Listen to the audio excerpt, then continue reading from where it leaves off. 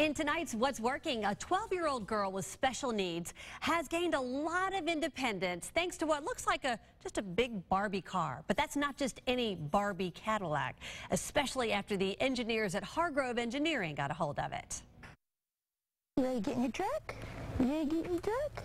Emma Pablo looks forward All right. You ready to go? to getting out of her wheelchair and into her Barbie car Go, Emma. To cruise the streets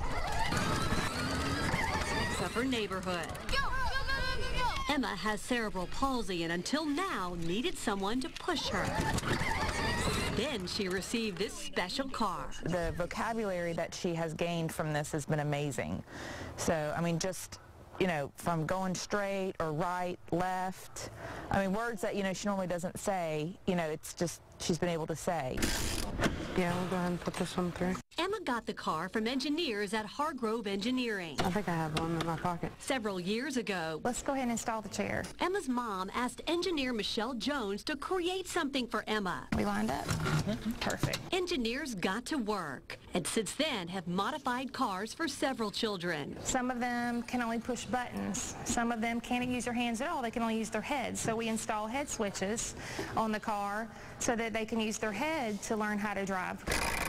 The engineers volunteer their time It's a good thing we did wire these up first. to adapt each vehicle to a child's needs. you get to see the this child who doesn't have much control or function over their environment get to express that control. They call these cars the Emma cars here at Hargrove because she received the first one that they built.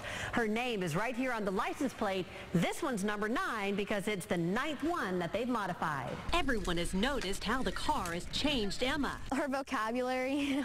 she says a lot more direction. When she's in that car, she just feels this freedom and she feels like she owns the world, and I think that's amazing. And just this little bit of freedom Hargrove Engineering and uh, Michelle and the whole team there has been amazing. means a whole lot to Emma and her family.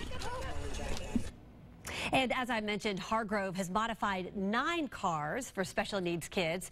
And the company has embraced this program. They now call it the HAT Project or the Hargrove Adaptive Toy Project. And it is so great of what they're doing over there at Hargrove. And as a side note, we want to wish Emma a happy 13th birthday tomorrow. Mel.